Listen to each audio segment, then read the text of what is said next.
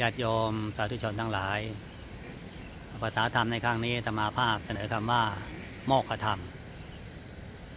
คำว่าโมกขธรรม แปลว่าทำเป็นเครื่องหลุดพ้นทำเป็นเหตุให้พ้น บางทีก็ใช้คำว่า โมกสักคำว่าโมกขธรรมหมายถึงธรรมที่ นำสัตว์โลกให้พ้นไปจากกิเลสให้พ้นไปจากกองทุกข์ทั้งหลาย ในความหมายสูงสุดก็คือพระนิพพานนั่นเองเพราะว่าพระนิพพานนั้นเป็นที่ดับกิเลส เป็นที่ดับกองทุกข์ทั้งหมด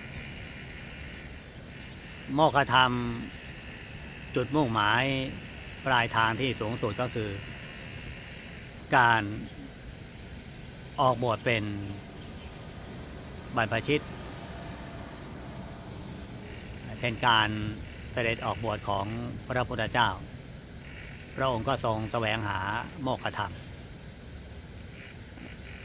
ภาษาวกในภายหลังก็ออกบวชกันก็มีปาณิธานหรือว่ามีความมุ่งมั่นอย่างนั้นก็คือ เพื่อแสวงหาโมกขธรรม ทำไมโมกขธรรมถึงจ้องต้องแสวงหา ที่ท่านใช้คำว่าแสวงหาก็คือ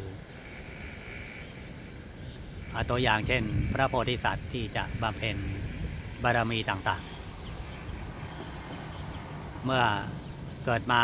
พบใดชาติใด และมีจิตปรารถนาจะ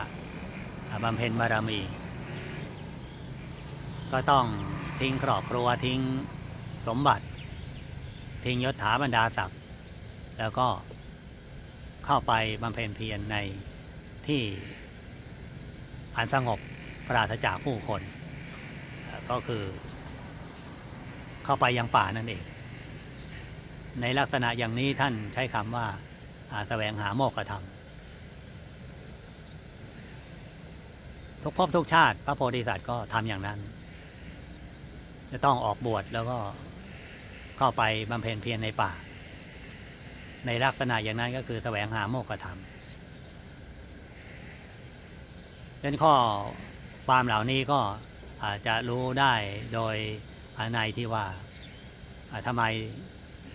อยู่บ้านอยู่เมืองแสวงหาพกธรรมไม่ได้หรืออย่างไร ก็เพราะว่าในบ้านในเมืองนั้นมีผู้คนหลากหลาย เป็นที่เกิดของกิเลสตัณหามากมาย ไม่สามารถที่จะหลบเลี่ยงหลีกเลี่ยง หรือว่าเพื่อที่จะทำตนให้พ้นไปจากกิเลสตัณหาเหล่านั้นได้ ที่สุดแล้วก็ต้องเข้าป่า ไปอยู่ป่าอยู่ในที่สงบสงัด ไม่เห็นผู้คนไม่แล้วก็ดำเนินชีวิตอยู่ในป่าอยู่อย่างนั้น ลักษณะอย่างนี้เรียกว่าการแสวงหาโมกขธรรม เหมือนประชาติสุดท้ายของเจ้าชายสิทธัตถะเมื่อออกบวชแล้วปณิธานว่าจะออกบวชก็คือ เพื่อไปแสวงหาโมกขธรรมนั่นเองแล้วแสวงหาอยู่หกปีจึงได้สำเร็จเป็นพระพุทธเจ้าดังนั้นคำว่าโมกขธรรมนั้นก็คือ อยู่บ้านอยู่เมือง ในสมัยอดีตก็ไม่มีใครเขาทำมีแต่เข้าไปแสวงหาในที่สงบสงัดก็คือไปบำเพ็ญเพียรจิตอยู่ในป่านั่นเองนี่ลักษณะของการแสวงหาโมกขธรรม แล้วก็จะได้ผลเร็วเพราะว่า